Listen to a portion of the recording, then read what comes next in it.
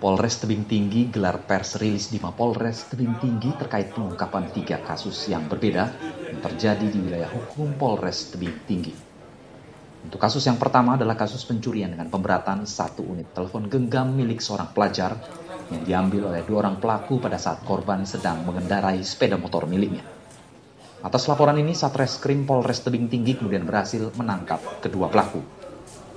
Sedangkan untuk kasus kedua adalah pencurian sepeda motor milik Sutrisno, di mana sepeda motor milik korban telah dicuri oleh pelaku dengan cara mengancam serta memukul korban dengan menggunakan pelepah pohon sawit.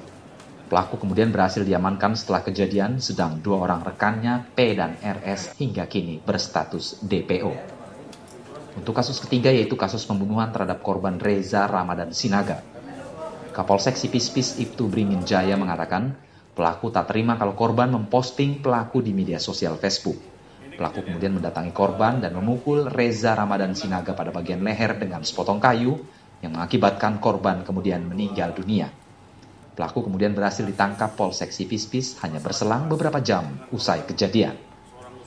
Tresno itu kejadiannya pada hari Jumat tanggal 20 Desember 2019 sekitar pukul 04.30 di Dusun 11, Pai Bagas, Kecamatan Tebing Tinggi.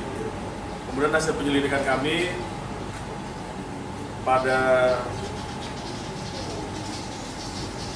ada kemudian kami melakukan penangkapan ya, kemudian kami melakukan penangkapan terhadap tersangka atas nama Wahyu Hidayat Nasibuan dengan barang bukti berupa satu unit sepeda motor dan kaos yang sudah dibeli dari hasil penjualan sepeda motornya. Tindak pidana dengan sengaja menghilangkan jiwa orang lain dan atau penganiayaan yang terjadi pada hari Selasa tanggal 8 Januari 2020 sekitar pukul 23.30 tepatnya di Dusun 1 Desa Tinongkah, Kecamatan Sibis, Kabupaten Serdang Bedagai, tepatnya di depan sebuah embung, yang mana selaku korban adalah Reja Ramadan Sinaga alias Reja, eh, laki-laki umur 21 tahun, pekerjaannya tidak bekerja, alamat Dusun 1 Desa Sibis, Kecamatan Sibis, Kabupaten Serdang Bedagai. Dan untuk pelakunya adalah seorang laki-laki yang bernama Lili Irawan alias Jojo, umur 37 tahun, agama Islam, pekerjaan tidak tetap, alamat Dusun 2, Desa Silopadang, Kecamatan Sibis, Kabupaten Sedang Bedage. Memang kota Tebing Tinggi ini kan padat dan jalannya banyak sehingga